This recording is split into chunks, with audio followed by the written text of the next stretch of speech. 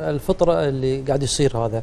عبارة عن ف- آه، آه، يسمونها عدوى انتهازية. انتهازية. إيش معنات انتهازية؟ طيب يحتاج ظروف معينة عشان يصاب الإنسان فيها. تطلع. اي شنو الظروف اللي قدامنا؟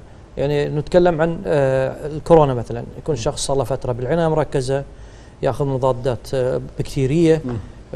وطبعا الكورتيزون يعتبر جزء من العلاج عشان يخفف التهيج في جهاز المناعة. صحيح. لأن الدمار اللي يصير وصوره الأشعة وغيرها كلها نتيجة تهيج جهاز المناعة فنضطر نعطي الكورتيزون ويقعد فترة المريض في على هذه الجرعات من الأدوية.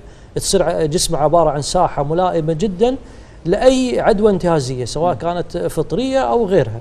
فهذا ممكن يصير. وأنا شفت أنا ح- يمكن حالة وحالتين ب- بدولة الكويت ما له علاقة طبعا بالكورونا من زمان.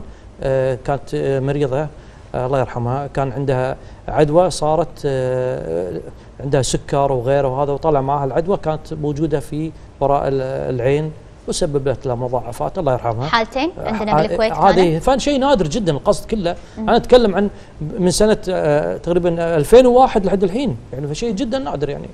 فما- بس خطرة جدا والله دكتور على كلامك أي أنت والله. تقول انها تسببت بالوفاة يعني هذا شيء خطر ال- ال- الوفاه هي توفت ليست للمشكلة نفسها ولكن أدت إلى أنها تفقد عينها.